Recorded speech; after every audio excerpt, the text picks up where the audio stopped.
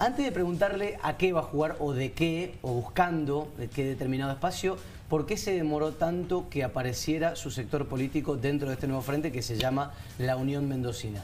Creo que es normal. En esta instancia, siempre que se arma un frente, eh, vos tenés en cuenta que cada partido tiene sus organismos internos, las comisiones electorales, las asambleas, los consejos directivos y además hay que formalizar las actas de donde se llega a un acuerdo. Todo eso es un tema administrativo que llega. Entonces eh, es normal que esto ocurra.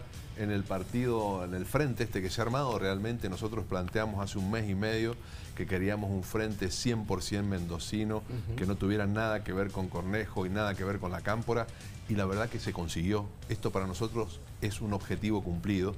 Creo que la ciudadanía mendocina va a tener una nueva alternativa en, este año. Jorge, y eh, interrumpiéndolo un segundo cuando dice objetivo cumplido, vamos a números. ¿Qué número en La Paso sería un objetivo cumplido? Ya que no hablamos sé, no, eso ya depende de los mendocinos. ¿No tiene un piso que diga este es el que me convence? No, no, yo creo que ya tener una alternativa 100% mendocina para nosotros es un logro. Ahora, lógicamente, eh, vamos a tratar de que sea competitiva.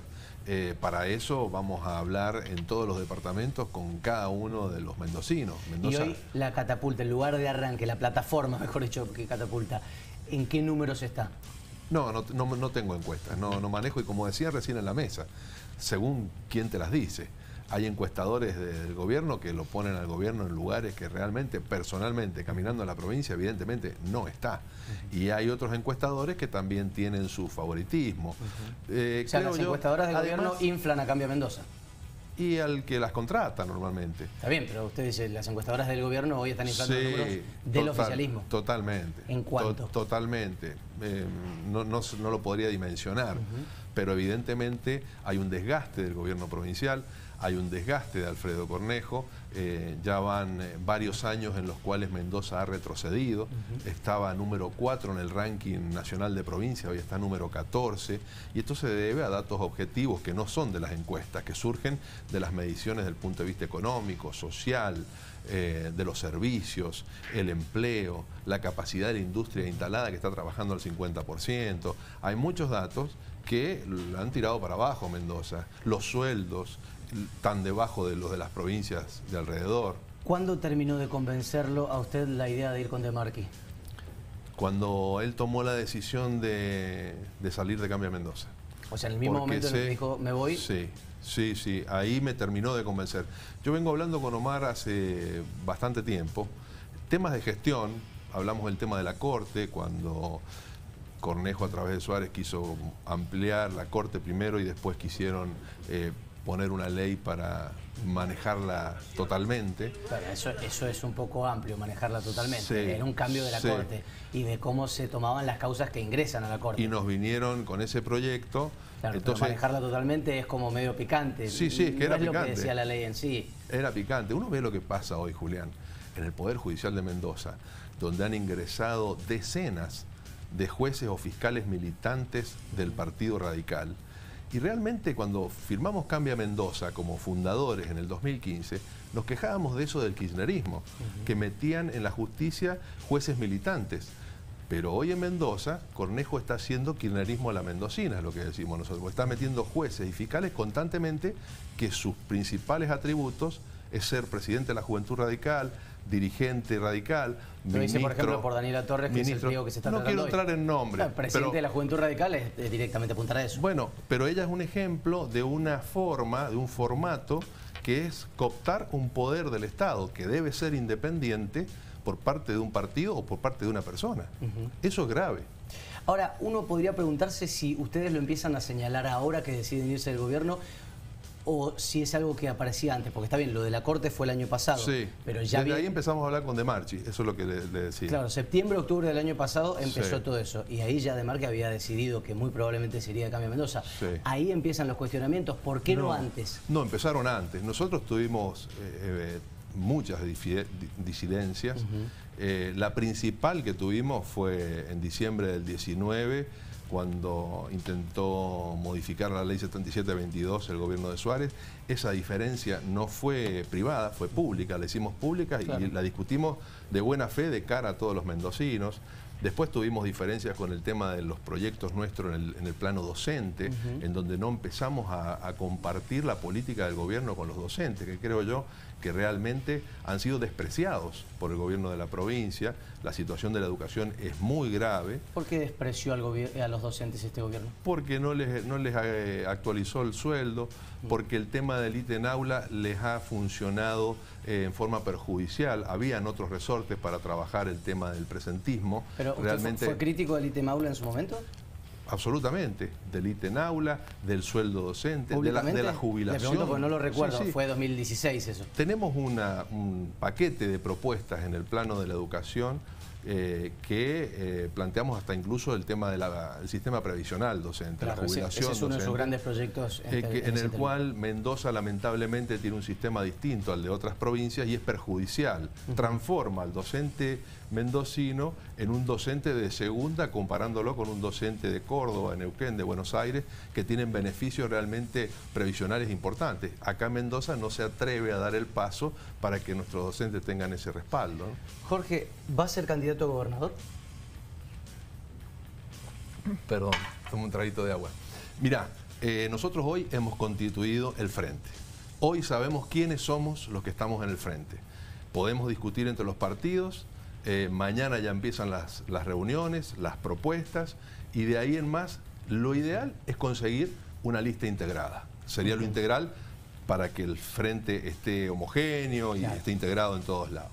Ahora, eh, hemos dejado el mecanismo de las PASO con el sistema DON establecido en el frente por cualquier eventualidad que se pueda producir una PASO, lógicamente dentro del mismo frente, para no dividir las fuerzas respecto de eh, pararnos frente al gobierno, ¿no? Claro, entonces ha quedado establecido como un mecanismo propio del frente. Es un, un, mecanismo que puede liberar cualquier tipo de conflicto interno de forma democrática en una paso. Ahora, la idea de, de la integración me parece que debe ser la principal. Si se logra esa, me parece que tenemos que ir por ahí. Me parece interesante eso porque no todos los frentes lo tienen, eso es algo que se decide internamente. ¿Quién propuso tener eso? fue por consenso, fue por consenso en donde todos, eh, justamente con lo que había pasado en otros partidos donde se establecen régimen de minorías muy leoninos para alcanzar, para que tengan participación todos los espacios, porque sin desmerecer a ninguno, pero hay espacios más grandes, otros más chicos, otros espacios que tienen sus particularidades,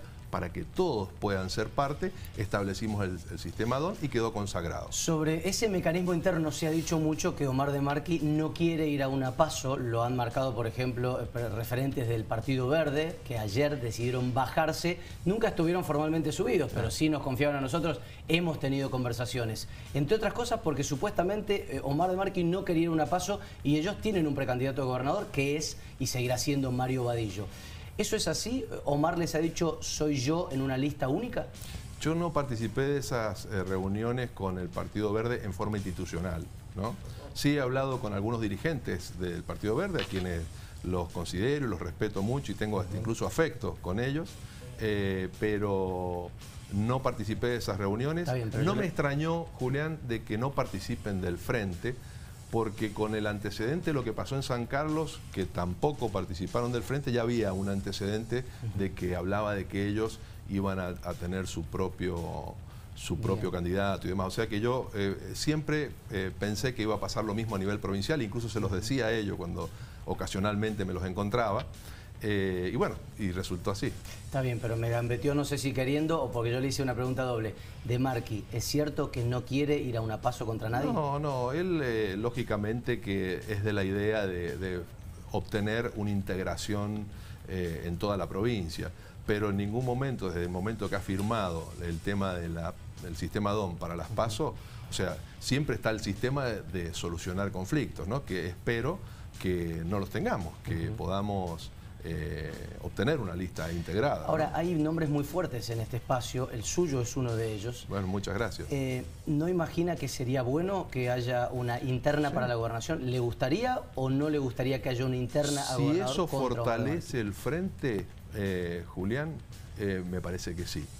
Si eso fortalece el frente, me parece que es bueno. No está descartada esa pasión. No, no, no, para nada, para nada. Y no está descartado que usted sea y lógicamente, ahora viendo a todos los integrantes ya definidos, porque recién ahí estaba Pablo en el móvil diciendo que quienes lo integran y demás.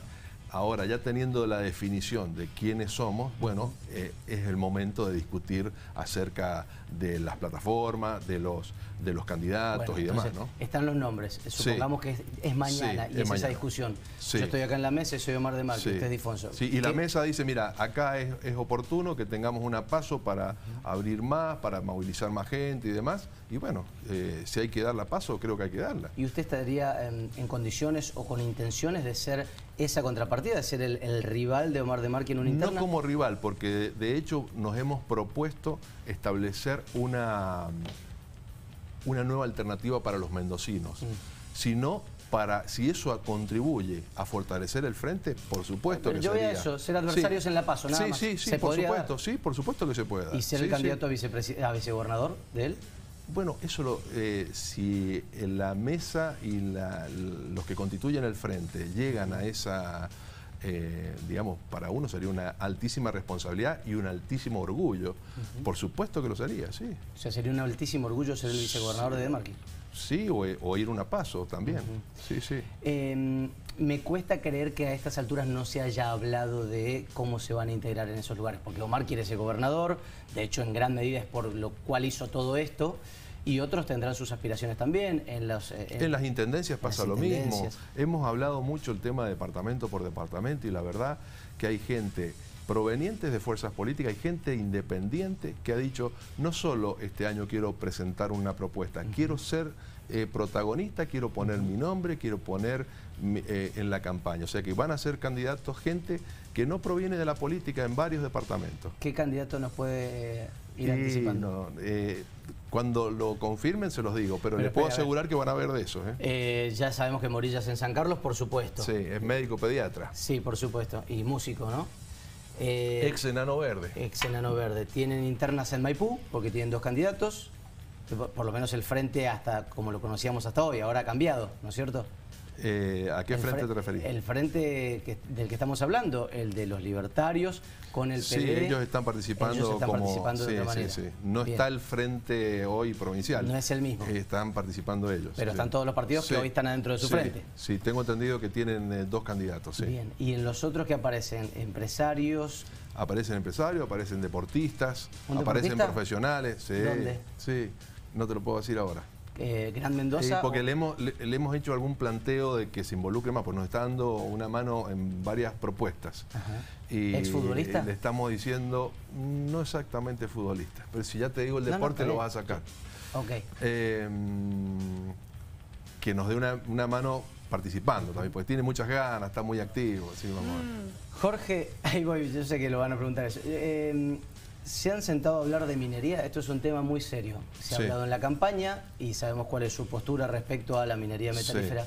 ¿Se han sentado en este frente a discutir qué vamos a hacer y qué vamos a decir sobre la minería? Nosotros en el tema minería tenemos una postura histórica y que es irrenunciable, que es el cuidado del agua y la defensa de la ley 7722. Lo que hemos hablado con los principales eh, referentes, me refiero a Omar, eh, hemos hablado puntualmente que se puede hacer minería respetando la ley 7722, sin necesidad de modificar la ley 7722 como intentó hacer Suárez. Bien, o sea, no están de acuerdo con tocar la ley para nada. Para nada. En ningún momento. Para nada. Eh, ¿Y qué opina de que De Marqui, compañero ahora de usted, haya dicho eso es solamente un número, como bien señaló No, pero no sé en qué contexto lo dijo. Yo creo que sí hay una intención del gobierno de, focalizar y subrayar algún tipo de diferencias en este frente por ese lado y la verdad es que quien fue, que intentó modificar la ley claramente fue el gobierno actual y hoy está intentando instalar una discusión en ese punto para que no se hable de la inseguridad, para que no se hable de los sueldos, para que pero no usted era parte de ese gobierno. Sí, pero me peleé con ellos justamente por eso. Sí, bueno, pero permaneció con ellos hasta hoy. Porque vino la pandemia, vino la pandemia. Pasó lo de la 7722 y a los meses vino la pandemia y ahí creo que responsablemente decidimos ayudar en lo que fue la emergencia sanitaria, la emergencia económica, presupuesto, rollover, todas las herramientas que necesitaba el gobierno, nosotros se las dimos. Y lamentablemente lo que ha fallado es la gestión. ¿Y qué pasa si vuelve a ocurrir? si usted es parte de una coalición que otra vez quiere tocar la 722, sea en la forma que sea que la modifique, porque por ejemplo puede haber una ley de zonificación, puede haber una ley que, o mejor dicho, algo que cambie una sustancia en particular. Yo creo, ¿Qué pasaría en ese que acá lo que hay que hacer es no, eh, no transformar este tema en, un, eh, en, una, en, una, guerra. Acá hay que hacer, eh, lógicamente, que se puede desempeñar una actividad pero tiene que ser con controles. ¿Qué es lo que establece la ley 7722? Y quedó clara la demostración de que hay proyectos que pueden avanzar en el marco de la 7722. Seguro. Creo que ese es el camino y los organismos de control tienen que adecuarse a lo que establece la ley 7722 y adecuándonos y respaldándonos en esa ley no vamos a tener conflicto. Eh, o sea, no, no avisora ni el más mínimo cambio. que alguien diga, esta sustancia la podríamos ver si y la sacamos y si eso ocurre, usted conoce cuál, es mi posición y toda la gente la, conoce también. Eh, no estoy escondiendo en este Sentido, eh, nos dicen que hay gente de San Carlos que ya le ha pedido, ambientalistas que ya le han pedido reuniones para ver cuál va a ser la postura del nuevo frente. Me parece ¿Se van a Dar? Se va a dar, lógicamente. ¿Pero es verdad, le hablaron para esto? Sí, sí, no solo de San Carlos, de la Asamblea de Guaymallén también y de la Asamblea de Maipú. ¿Y, cuándo se va a juntar con ellos? Me voy a juntar esta semana. Eh, no nos hemos juntado ayer o el día de hoy porque hemos tenido este tema de la presentación, pero nos vamos a juntar a conversar. Eh, los conozco, los conozco y los respeto. Bien. Y, les ha dado y muchos Y muchos no, me han acompañado electoralmente en otras oportunidades. Tienen eh, participación política en otros espacios y los respeto mucho. Pero hemos estado juntos en este tema. Si ganan, ¿qué va a hacer este gobierno con la plata de Portezuelo del Viento, por ejemplo?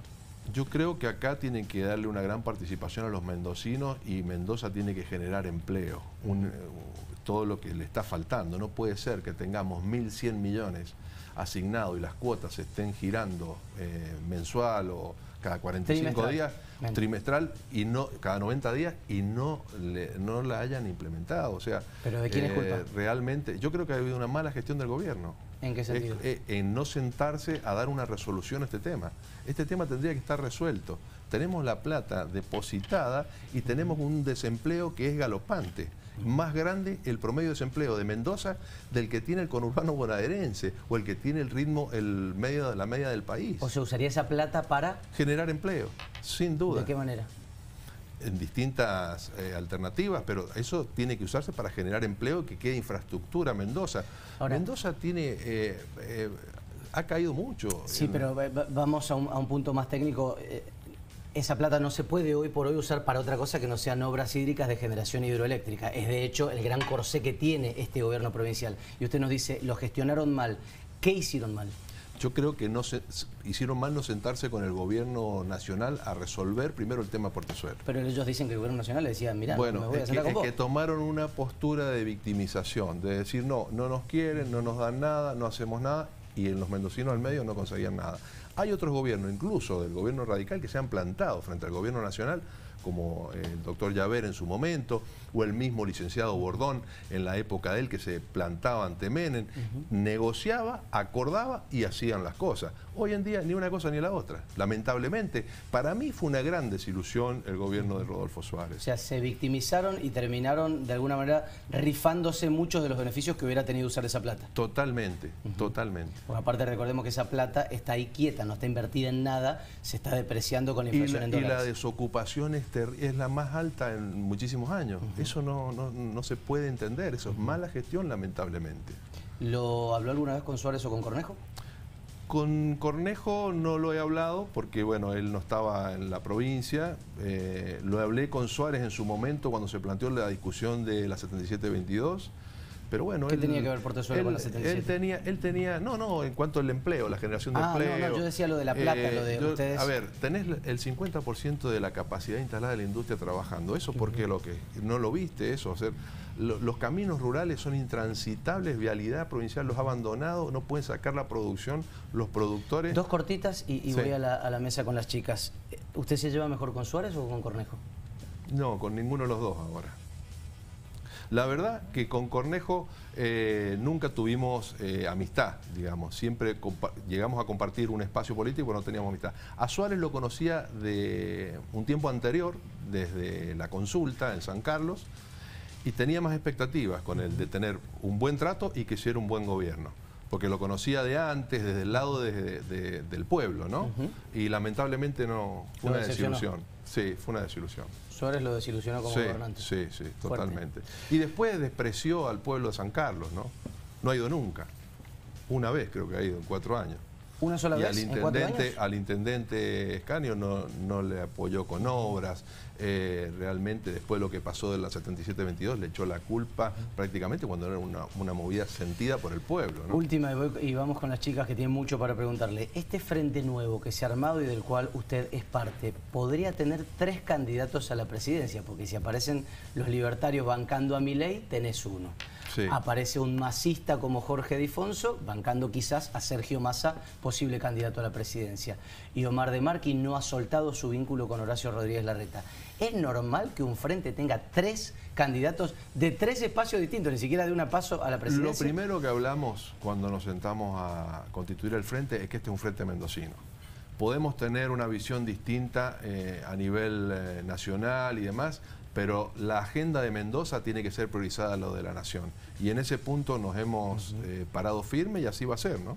O sea, puede haber una Tenemos pequeña guerrita ahí de quién quiera Hay gente del PJ, hay gente, dirigentes importantes del radicalismo que están participando, gente del PD y los libertarios que están trabajando con, con mi ley. Y bueno, eso será en la elección nacional, que los mendocinos elijan el presidente, pero hoy van a tener que elegir gobernador. Yo no me imagino a los libertarios en un acto en Mendoza de masa no, ni de, en absoluto. Yo tampoco. ¿A usted no va a ir a un acto de mi ley? No voy a ir a los actos nacionales. Vamos a estar si Viene, si viene Sergio Massa, que ha sido alguien cercano a, usted.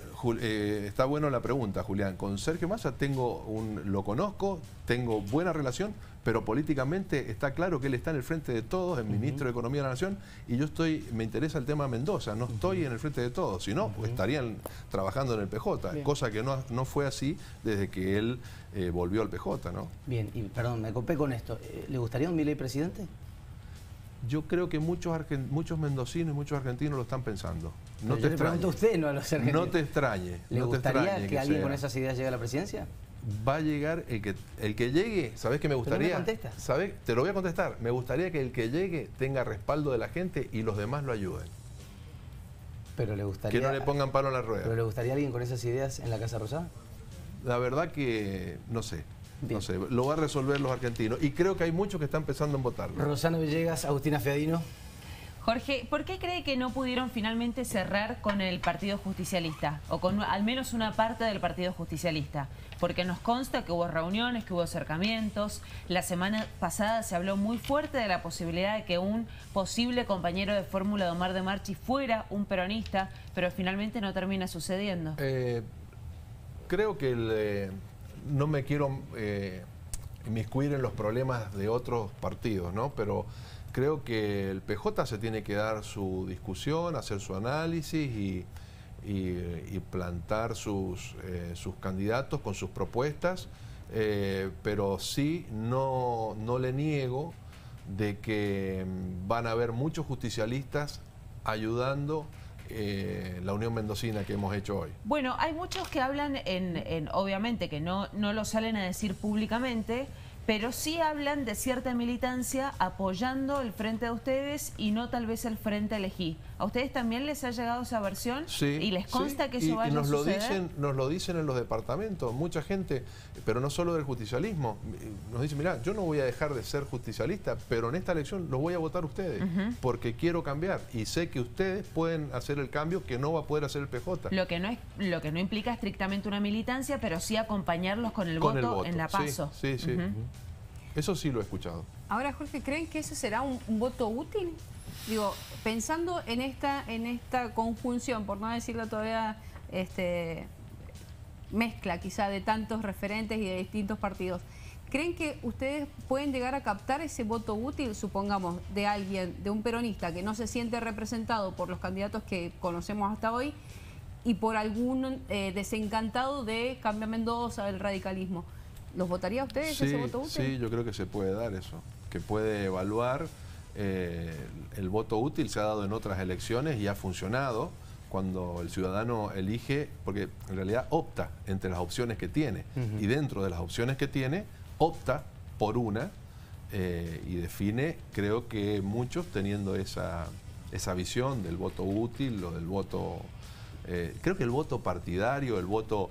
La gente no vota ya partidos, vota personas, vota eh, ideas, eh, no, no vota un, un partido como era antes, ¿no? Pero bueno, en el, en el frente, este nuevo frente, hay muchas ideas que confluyen, digamos. Sí, pero hay una Julián. que es el factor común.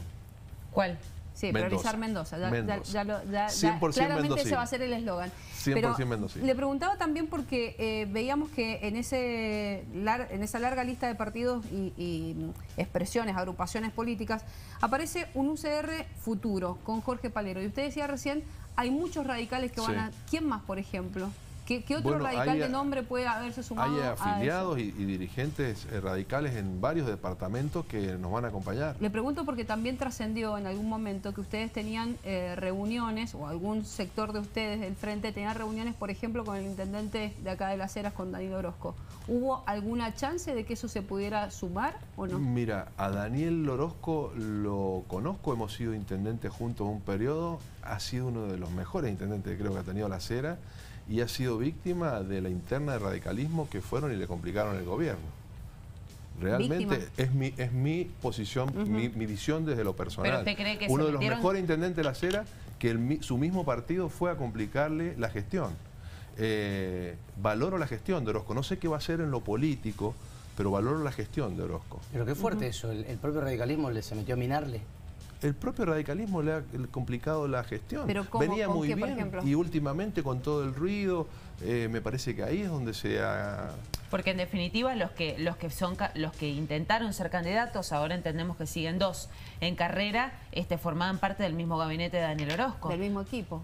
Claro, pero eh, por líneas provinciales que uno respondían a un sector, otros Usted a dice que, otro. que la cúpula del radicalismo se que fue metiendo en esa tener- interna. Estos son los momentos en donde tenés que discutir los frentes y lo demás. Este momento, porque tenés las fechas eh, estipuladas y después vendrá la discusión por los candidatos. Pero pasado esto, los que están en gestión tienen que gestionar. Claro. Y cuando se mete la política en la gestión, el que paga los platos rotos es la gente. Sí, pero a mí me da más error de Orozco que error de los demás. Si usted dice que tiene- en este momento tiene que gestionar. Yo viéndolo lo veía que venía muy bien, un muy buen intendente, uno de los mejores, pero me dio la impresión de que el mismo partido lo complicó. ¿Y hubo lo, reuniones lo hablo con total... no, Por supuesto. No he hablado en lo es una político opinión, con él. Rosana, opinión. Rosana le preguntaba por encuentros. ¿Hubo reuniones con Orozco? No, no, en lo político no. Sí, desde, desde, la, desde el afecto, desde la amistad, eh, pero no eh, en este... No en el marco de conform- vayamos juntos no, por- No por sé este cómo lado. estará su situación en lo político. Sí, eh, subrayo esto que les dije recién. Eh, bueno, yo le hago las últimas mías, no sé si las chicas quieren cerrar. Yo le hago dos cortitas. Eh, se partió el bloque PRO en la legislatura, en senadores, en diputados en teoría por ahora no, habrá que ver qué pasa más adelante. Si en diputados se rompiera, ¿podría haber un nuevo bloque con esa gente del PRO que le responde a Omar de Marqui? ¿Y usted, por ejemplo? Puede ser. ¿Se ha hablado? Puede ser, no lo hemos hablado. No lo hemos hablado, No quizá va a ser materia de diálogo a partir de mañana, pero eso no está hablado. De todas formas, los bloques eh, y la, la idea en la legislatura es que cuando tengamos un, un proyecto que sea necesario, lo vamos a acompañar, pero vamos a marcar todo esto que estamos viendo en, eh, Claro. que Mendoza necesita cambiar. Le abre la puerta a que ese bloque se arme. Perdón, Sí, chicos. sí, puede ser. No, Sí. sería clave eso que está marcando Julián, porque cuando el bloque de el interbloque Cambia Mendoza se parte y la gente del PRO se va por un lado y si usted se suma o su sector de Unión Popular se sumara a la gente del PRO, el número es distinto y pueden incluso este, bochar algunos proyectos que también pueda llevar adelante el oficialismo, el gobierno. Lo hicimos con la reforma de la Corte, sin pertenecer a un interbloque y demás. Lo hicimos con un trabajo en conjunto, que hicimos ese trabajo con Claro. De Marchi. Usted estaba Y- en esa comisión. Exactamente, Claro. soy presidente de esa comisión y lo trabajamos con, con De Marchi y sus asesores y salió bien. Última. Una muy cortita. Sí, sí, sí. Eh, dice Guillermo Lizalde en Twitter, respeto a Jorge Difonso, sería importante que dé nombres de qué peronistas lo acompañan. Pues usted nombró recién Es un peronistas. buen- eh, Guillermo es un muy buen elemento.